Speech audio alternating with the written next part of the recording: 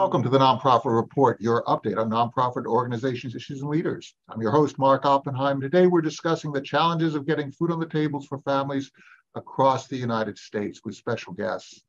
Dr. Melony Samuel, CEO and founder of the Campaign Against Hunger in New York, Celia Cole, CEO of Feeding Texas, Monica White, President CEO of Food Share of Ventura County in California. A reminder to Zoom attendees that we take three snap polls during the show and we'll announce results. And your questions submitted to the Q&A function at the bottom of your screen will be included in our discussion. So thank you all. Thank you very much for joining us.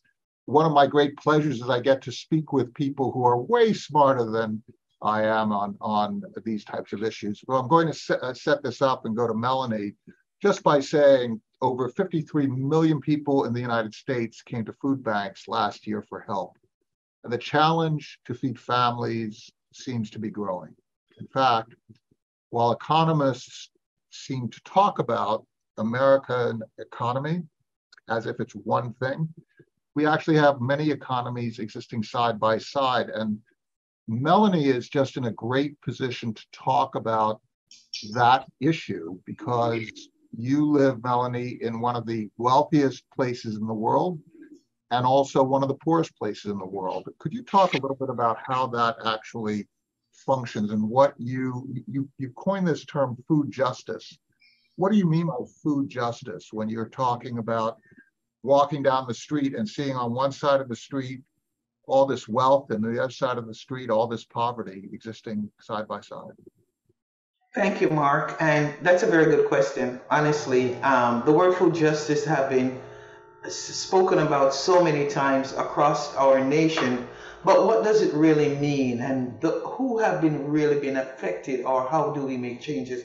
Well, for me, when I think of food justice, it's ensuring universal access to healthy, nutritious, culturally appropriate food, and of course, making sure that it is affordable this whole idea of, of again, Ventura County, a very uh, interesting uh, place with, with this combination of wealth and poverty. Um, how do you see the problem from your uh, perspective, Melody? We we we see that we see the same thing. I mean that in that Ventura County is a very affluent community, um, yet we're serving thousands and thousands of people who are just trying to make ends meet um, and that the talk about food justice you know that we we want to be able to ensure that everybody who needs food is able to be is able to access it. And whether that be a farm worker and then we need to actually go to the fields to be able to provide to them or if it's a senior who's homebound being able to get that food to them in addition to all of the pantries that we that we operate and ensuring that it's in every single area so there are no food deserts so people don't need to travel that far in order to be able to get food. Um, that's all extremely important to us and what we're, we, we struggle with every day.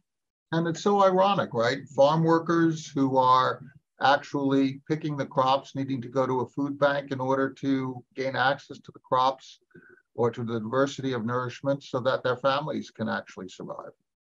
A- absolutely and you know it's all about timing as well. We used we at the start of pandemic we were doing a drive through distribution and we thought doing it from 2 to 4 would be enough time. Well we found out that the farm workers weren't getting off in time and, and so they were unable to access the, even the drive through distribution.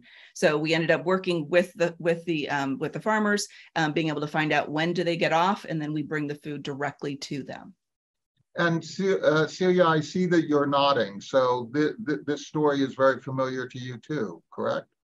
Yes, it is, Mark. And thanks so much for inviting me to be part of this conversation. Yeah, I want to echo things that Dr. Samuels and Monica have said about food justice. And it really derives, obviously, from USDA's definition of, of what food security means. And I think in Texas, we talk about, you know, right food, right time, right place. And so it's not just about getting food out there, but it's making sure that it gets to the right people and it gets to them in a way that is accessible to them. And I think it's really important to recognize that the people growing our food are also struggling with food insecurity. And so the idea of the food justice movement is going beyond the food security movement and really looking at that as well. Um, in Texas, we've run a, a, produce initiative for about 20 years now. Um, we call it a win-win-win because we capture rescue surplus produce that's unsellable. That helps farmers. It gives them an outlet for surplus that they would otherwise have to pay to to to to dispose of it also kind of helps them offset some of the losses that we know farmers are, are prone to. It then gets food to hungry people. It improves health. It reduces environmental environmental hazards of the of food waste. Um, but really i think it, the support that it provides to farmers is really key and it's part of that food justice concept. So mark i just wanted to add um, to what cecilia and monica said in reference to farmers overall we also look at New York City and we, we are advocating for the BIPOC farmers because those are the ones that are left behind. Um, we need to see them farm their own land, right? And those that are actually having their space, uh, many of the farmers I know are struggling, especially during the time of COVID. Um, farmers, farmers right now are at risk of losing their property. And so we, we, when we talk about food justice, we want to ensure also that the farmland goes across the board and that everyone has access, not only any one specific or uh, set of families, but we want to make sure that the farmers overall have access and not only have access, has their vehicle and all the, the resources needed to bring food, especially into New York City, where food is so expensive. Well, you're you're you're both making a really important point in that we seem to have a systemic issue not only in the supply chain but also in the growing and the origination uh, of, uh, of, the food and where where we have farmers um, whether it's because they are family farmers or because of, of the location or because of gas prices or because BIPOC farmers have been uh, disadvantaged um, in in our federal um, farm support programs for uh, so many decades. Uh, people are being driven out of business and they are being driven into the food banks because of the loss of, uh, of wealth. Do we have a systemic problem in this issue when it uh, in this country when it comes to the supply chain for food, where we have people who are growing food not able to actually feed themselves and avail themselves of the food that they're growing, as Monica says, um, or do we have um, other issues that really need a, a, sort of a rethinking of how food functions in this country. Celia, can you get, can you give it a shot, and then we're going to go around uh, to uh, to Melony and and Monica. Uh, what do you think? Yeah, I mean, I think when we talk about food security, we're not just talking about individuals um, being food secure, being able to access the food they need to feed their families. We're talking about the overall security of our food system, so to speak. And so, whether that's um, at the origin or at points along the supply chain, yeah, I think it's it's definitely a system that's fraught with lots of problems. And if we're going to really look at food security holistically and really embrace this concept of food justice, um, that yeah, we do need to look at that disconnect. Uh, Melony, what do you what do you think about uh, about this in terms of of systemic res, uh, responses to what seems to be a systemic problem? Fifty three million people is a huge number, a, a huge amount of our population uh, to be availing itself of, of food banks. Yes, um, I I have to agree with Cecilia, right? And not only that, we have put so much in our health care system right? And we've also put money in our food system. But what we have against us, we look at climate change, right? we right now we're viewing all the problems that are facing the farmers and, and the land issue and gas and all these resources that they need to bring forth. But we also have climate issue that is going to come into the play. Right now where we are, uh, um, grain is very hard to get. And I know that there has been, with Ukraine and Russia, there's been a change over, but nevertheless, it has not trickled down yet. So what you're finding, for instance, the campaign against hunger, we have been work, serving um, New York City for 24 years. In the height of the pandemic, we found ourselves in a place where we had to literally change our model in order to get food to families. We have built a new model in New York City that has been adopted by so many robust pantries. It's no longer robust pantries. We are now in a different place. Why are we doing this? Because we recognize that when disaster hits, not only are farmers um, accessible um, um, to the disaster itself, they find themselves being impacted by the disaster, but um, city-wide urban families, families working poor, um, and everyone else is being affected. And so what happens is, especially during the pandemic, it took us weeks, and I, I mean weeks, to get food in. Unbelievable, but it took us weeks, and the cost of food. So now we have to really look at the food system. What was built is not working. Let's just all face it the way it's been done, it's not working. It's now time for us to look at what works best and start investing in what works best so that we can put food insecurity behind us. We can alleviate it by working together and, and look at exactly what is on the table and let those that have the skill set and the know-how join together and come up with a solution. And I'm talking universal, I'm talking nation, national, right? And, and I think some of that would help to work on the problem we're presently facing. Is, is, is part of this sort of connecting the dots between health and food?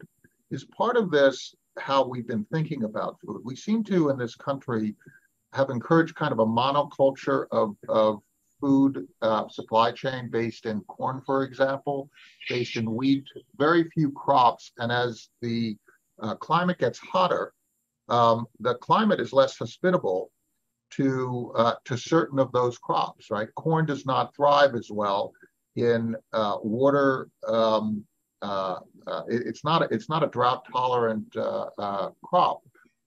Monica, as you're looking at the situation that you're that you're facing, and uh, taking Melony's point about grains, for example, the prices of grains going up, and the and the kind of um, in fuel intensive farming that we do, which means that gas prices are having a disproportionate uh, impact on the entire food supply chain. Do you see, and, and we're going to talk a little bit about sort of what you do to alleviate immediate need, do you see a rethinking that we as citizens ought to be undertaking in terms of our own consumption habits, our own supply chain, how we think about these things? Uh, government, nonprofits, is this a, is this an all-in kind of a call to action at this point? Uh, yes, the latter. It's all in. there's not there's not one uh, silver bullet that's gonna that's gonna solve all of it, and it is. It's the combination of all of those. Um, and I, I think it's so wonderful that we have a we have a New York and we have Ventura County, 3,000 miles apart. Um, we are in the, the agricultural uh, center of, of, of California and that we have so much produce that we can't use it all. Um, and so get it to market, right? I mean, it's just it's just basically rotting in the is. fields. It can't be picked. It can't be moved, right? Right. And so that brings up uh, this issue of that. So um, we're part of the California Association of Food Banks as well as Feeding America. And the food banks have put together a farm to family program, which is um, which ex- which um, uh, accesses um, additional produce. And so we say, you know, farming to to excess. We want to be able to grab grab grab all of that additional produce and be able to get it to the food banks who are, who can use it. I'll give you strawberries, for example. We have more strawberries than we're, we're able to use. We're right by the Port of Hueneme. Sometimes we'll get literally tons of pineapple or bananas that we that will that will go bad before we're able to even use them. So we have so, fertilizer, we have labor, we have land, we have water. It's all been invested in creating this pineapple, creating this strawberry.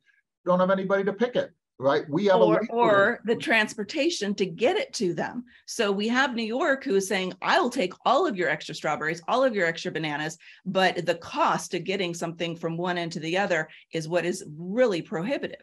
And it went and it's skyrocketed during um, during COVID, and it's really stayed up there. And what cost us seven hundred dollars for a truckload is now fifteen hundred dollars which well, means that affects the food banks and how much food we can actually purchase. You need the drivers and and so on and so forth. We have a labor problem, right? And and we also have this sort of gamesmanship going on in the southern border states in terms of of not basically being overwhelmed by by a huge number of illegal Im- immigrants because we haven't figured out a way to provide work visas to these people who could actually work in agriculture, for example, where there is a tr tremendous need. Celia, how do you see these interconnected elements? Isn't there something? Because this is not a political party thing. This should, I mean, this is an American thing. We should all be able to come together and say, you know, agriculture needs labor. We need to get things from one place to another. How do we come together? It just seems to me to be kind of nonsensical that everybody's sort of throwing darts at each other rather than solving problems. Yeah, and I mean, what Monica was talking about with their farm to family initiative, there's you know similar um, collaboratives around the country uh, of involving food banks and regional efforts to rescue produce. And I think one of the benefits of us all being part of Feeding America is they're trying to provide some of that uh, that um, the connecting of dots between those different, you know, where there's supply and where there's demand and trying to help us address some of the transportation issues. But one thing, I mean, I think it's really good that we're all here together talking about long-term solutions and the bigger picture and the systemic problems. But I mean, food banks in the meantime, you all will, you'll resonate with this. I think, I mean, we have to deal with the immediate problem of people being hungry. Um, so while we're working to kind of fix the system, we also have to deal with um, the casualties of the system. And so, one thing I don't want to get lost in all of this is we're talking about food security and farm security, et cetera, is income security. And, and really, when you talk about hunger, it's not so much a food problem as it is a money problem. And so, when people are coming to food banks for help, um, they don't have the money to afford food on their own. And there are food deserts in many poor areas of the country, but there, if you if you look at what it means to be in a food desert, it's really about can you access a, a grocery store that has affordable food? And there's plenty of wealthier communities in this country that could qualify under that definition. But the difference is, is that people there have the money, and so if it's not easy for them to access food nearby, they can order online, they can travel to the Whole Foods that's 10 miles away but when it comes to the people we serve, uh, the reason that they're facing hunger, it's it's a it's an income problem. They don't have adequate resources to afford food. So I think you know hunger is a very intersectional issue. We've talked about some of the intersections, but really figuring out how to um, improve income security in this country, reduce uh, income inequality, I think is also really key here. So let's talk a little bit and see if you could conti continue on because you you mentioned the fact that um, we have an immediate problem. We have a systemic issue. And we, we've talked about income, we've talked about labor, we've talked about the cost of trucking, fuel, inflation, all these different, these different issues. Uh, but let's talk a little bit about the immediate problem. So if you can continue, and then we're going to go to, to Melony, uh, talk about actually what you do every single day in order to deal with somebody who is hungry, whose kids are are really in distress to start to alleviate that distress? Sure. Well, I mean, right now, about one in eight Texans suffers from food insecurity. And obviously, that number skyrocketed during the pandemic. Um, and I think uh, Dr. Samuels mentioned earlier the sort of need for the food, the charitable food assistance system to really reinvent itself to be able to meet that increased need. And while some of it's come down um, with the pandemic easing into an endemic situation, we're now seeing obviously the impacts of inflation that are hitting people and food banks because those rising costs of in, in fuel and fertilizer, you know, that's also affecting um, obviously the people growing food and the, and the food banks. Um, so it's a it's a really enormous problem. I mean, we're seeing millions of Texans daily who are struggling to afford food, and I think you know one of our food banks has sort of coined the saying, you know, food for today, food for tomorrow, food for life, and figuring out how to build food bank services around that so that you know the the, the bread and butter, no pun intended, of what we do is meeting that immediate need with the food box, and it's hopefully a a really uh, diverse food box that includes lots of fresh fruits and vegetables and other things that, that people need to be immediately uh, meeting their nutritional needs. But we know that most people come to us, it's not a one time need, it's not just a, an immediate crisis, it's an ongoing crisis, it's chronic food insecurity. We know that most people come to us six or seven times a year. Um, and so, what can we do to sort of, uh, uh, you know, tackle the food for tomorrow? When they leave our food pantry, we know that the food's going to only last so long and that they're going to continue to have need. Um, so, we work very closely with the state agency that administers the SNAP program, formerly the food stamp program, to connect the eligible families that are coming to us for immediate help to that ongoing assistance. Because we know that SNAP is the most, the largest and most important anti-hunger fighting program in this country. Um, and then along with that, getting them connected to other services like Medicaid, um, uh, long-term care services. If they're really poor in Texas, you can qualify for, for the welfare program. So getting them connected to cash assistance if they're eligible, um, just to kind of stabilize and provide that food to, for tomorrow.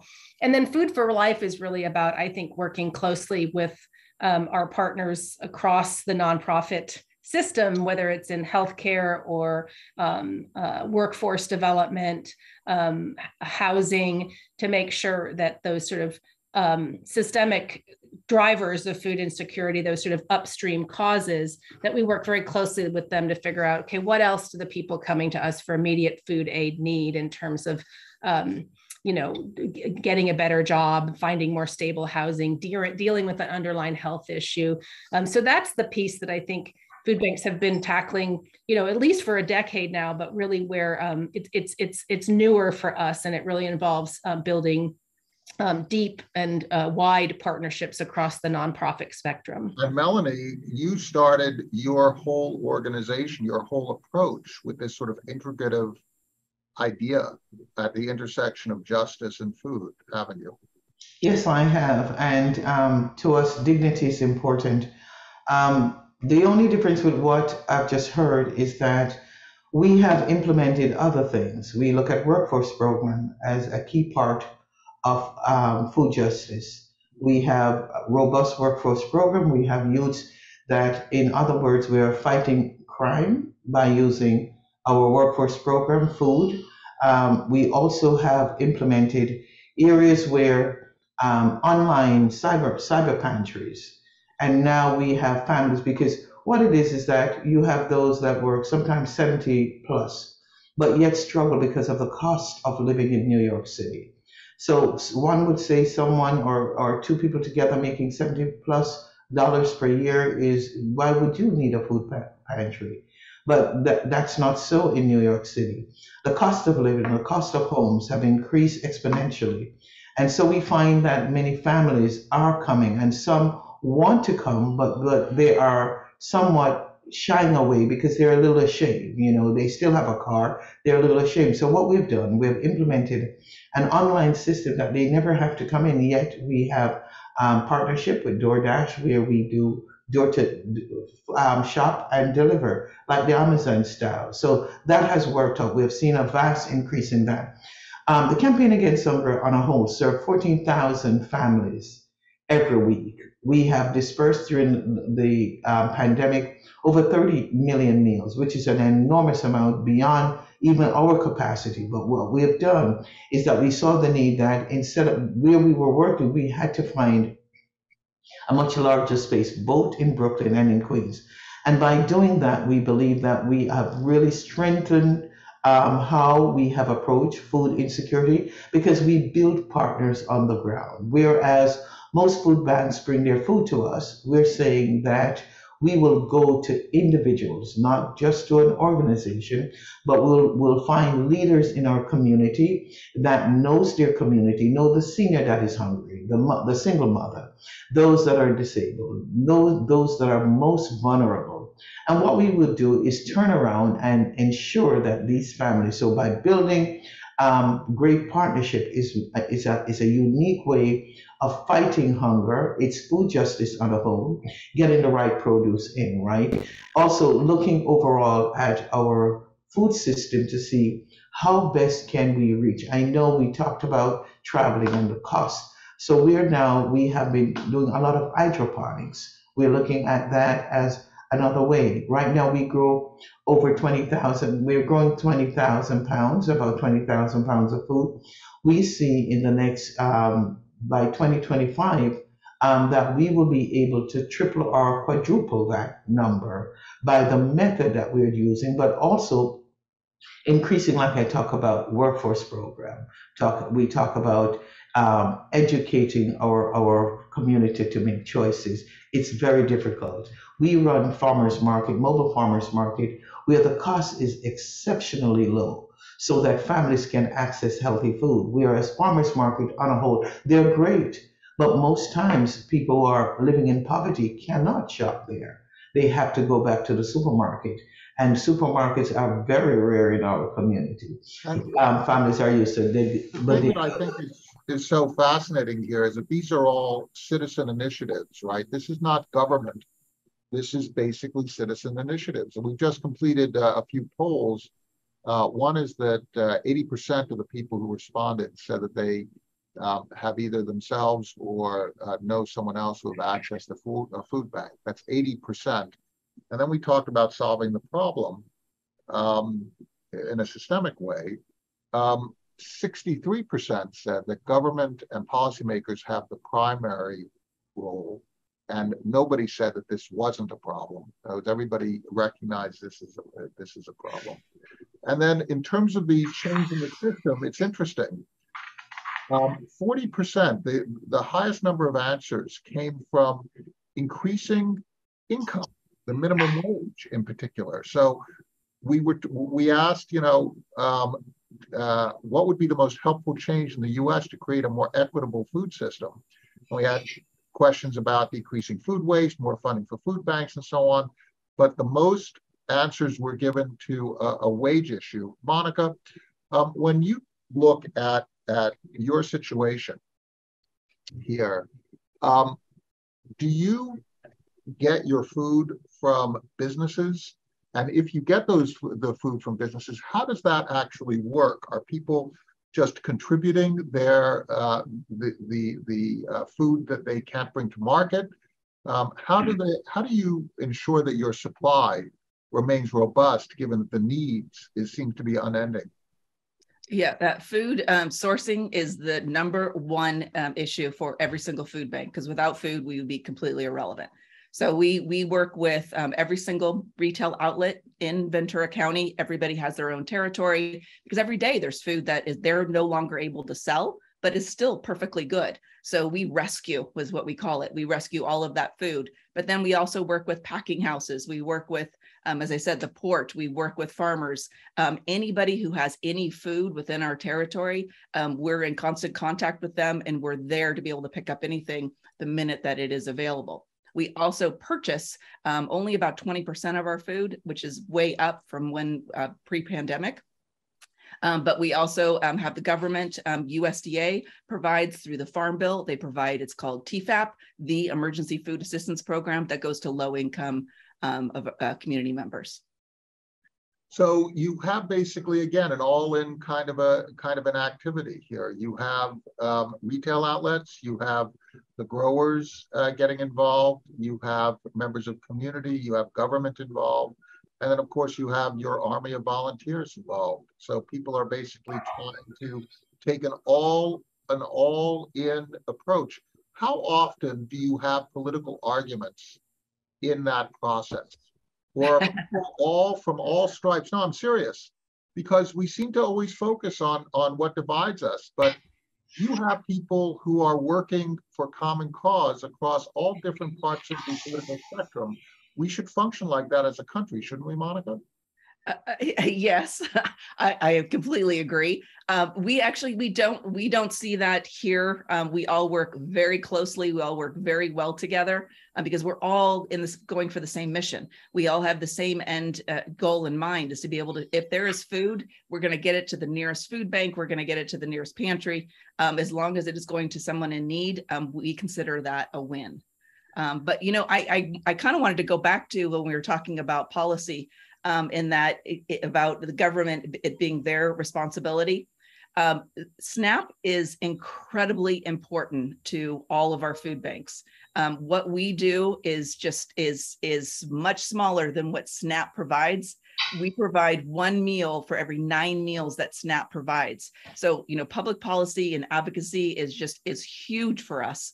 Um, to be able to ensure that that farm bill, you know, continues and that those government commodities come through um, th- that's that is huge for us. So what you're saying is that part of a government's responsibility is to actually support those people who don't have power, who don't necessarily have the means.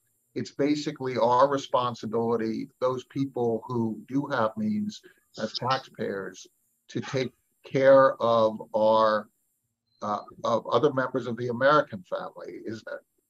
It's reality. It, that is what that is what it is right now. And as the food banks we're the safety net.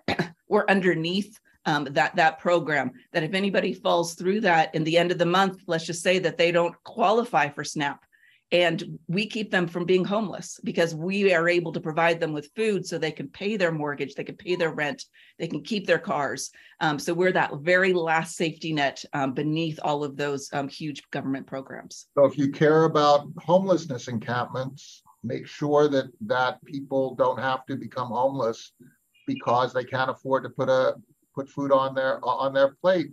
Uh, Melony, um, I'd like to give you a word, and then uh, Celia will will give uh, Texas the last word. Uh, but Melony, how do you see how we should function here? How do you see us taking the lessons that you've learned and taking them to heart as a country, and and start acting together to solve this problem once and for all? I, I truly believe it's important for us to work together. And um, I have seen such a difference, and quickly saying that what how food insecurity was approached years ago, I've really seen a light at the end of the tunnel. And I believe that we're going in the right directions and we can make a change in, in, in the method. We're looking at what works and it's working. I appreciate my governor, I appreciate my, my mayor and those that are in all the legislative officers because they work well with us and they want to know what's going on in their community and they have been a voice in the community against food insecurity. My neighbors and friends are working also. So we find that in New York City, although there is a longer, maybe a longer line than anywhere else, um, we are really addressing the problem the best way we have. Right now, it's a little difficult. We, in the next two months, we are really struggling overall because there seem to be very little resources. So right now, there's a struggle. But I, I do look at the end of the tunnel in a few years to come, and I think that a lot of our services will have made a vast difference in the lives of families, and there is positive changes to come. And Celia, how do you see us solving this this issue, or do you see this issue as being something that we as Americans can actually solve? Oh, definitely. I mean, I think we often say, you know, you know, hunger is a problem that we can we can uh, you know can't afford to ignore. We can't afford to solve. You know, it's not. Um, I don't think it's an intractable intractable problem. Um, I think one of the reasons um, that it's so important to ensure that people are nourished um, is that getting food to people feeding people that's kind of a low cost solution when you when you compare it to the cost of the consequences which is you know whether it's poor health or homelessness. I think that the, those problems down the chain are a lot uh, a lot more complicated and more expensive to solve. Um, it's not that expensive or hard to figure out how to get food to people. And i think that's why even in texas which is a very um, polarized state right now, um, we have support across the political spectrum for making sure that we keep Texans fed. And we saw this throughout the pandemic. People understood that, you know, if we could at a minimum keep people fed, um, that it was going to be a lot easier to keep those families resilient throughout the pandemic. So. You know, I, I think you're making a very, very important point. We are in every state divided, including in Texas, including in California, including throughout the United States. But we don't need to be. We have problems, we can solve them, right? We have a labor shortage in this country. We have uh, people who want to come to this country. We should come together and figure out some sort of rational approach to deal with this stuff instead of uh, uh, scoring political points. The borders need to be secured, of course but we also need people to do work in the fields. We need people who will get those crops to market. We need the energies of the, of the entire country to come together to solve these kinds of problems. Dr. Melony Samuels, CEO and founder of the Campaign Against Hunger in New York, Celia Cole, CEO of Feeding Texas, Monica White, President CEO of Food Share of Ventura County in California, you are our heroes. Your people are our heroes. You are solving practical problems instead of wasting time in fruitless debates and and uh, and point scoring. Please thank your boards. Thank your suppliers. Thank your funders. Thank your staffs. And, and thank you for sharing your wisdom with us today.